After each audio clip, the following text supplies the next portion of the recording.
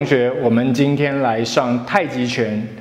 太极拳的第一课很重要的，在进入套路之前，先是你整个练拳的思维跟身体的感觉。我们先从你基本的姿态开始讲起，如何站，很单纯的，任何一只脚往前踏，以自己的那只脚，现在我是左脚的食指跟我的左脚膝盖连成一条线。把身体的重心放上来，全身你可以看到我的重心都在左脚，右脚放松跨出，落下，屁股微微沉下，放松胸口，放松肚子，再慢慢的站直，打直膝盖，放松胸口，眼睛平视，这个是我们最基本的整个站立的感觉。在这个结构之下，我们的身体是以骨架作为支撑，让身体的重量自然落到地面，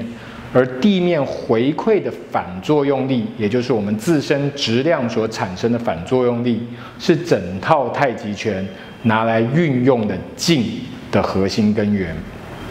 太极拳的力量非常重视你从脚开始，以丹田为转换的基准。再以甩动飘荡的感觉行到你的手指末端，所以呢，任何拉扯、抬升、刻意做作的这种力道都是不可以的。也就是说，在整个练拳的过程中，你必须以你最不要用力、最放轻松的方式来达成一个动作所需要的方向跟它的架构。在传统武术。的地方，我们称为架势啊。架势是两个字，架是架，势是势。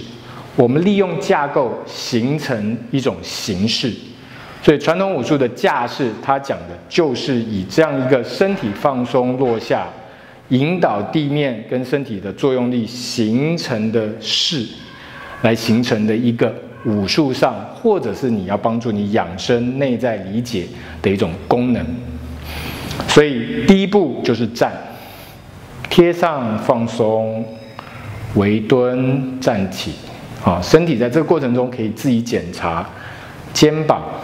腰腹有没有额外的用力。通常我们在这边会额外用力的其实是你的头，你会想要挺胸平视，其实这样子是抬头，啊，所以我们把这些地方都放掉，眼睛让它放松，感觉自己。脸庞还有头颅这边的压力，这些压力是平衡放松的，你就达到第一个放松自立的状态。我们在一开始的第一个动作里面，除了站，下一个动作我们要练习松皮。松皮的动作很简单，任选一只手，以每一只手的第一个指节、食指指节开始，轻轻的搓动它，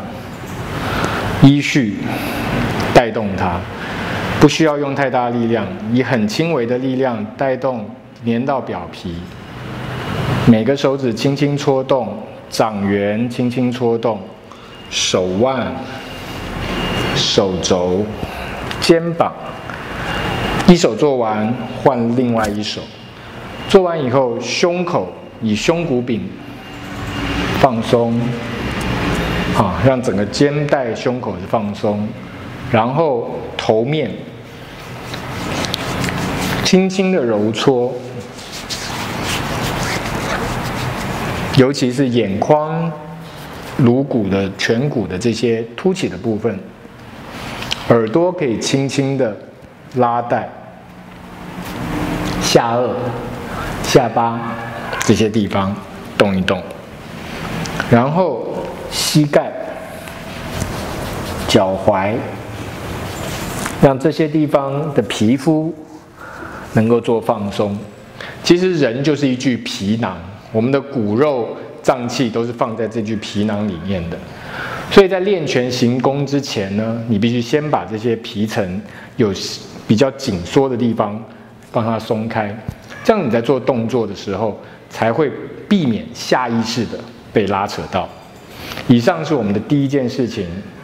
进入一个放松。稳定的站立状态，然后开始做这个松体的动作。在这之后，我们才会开始进入套路的练习。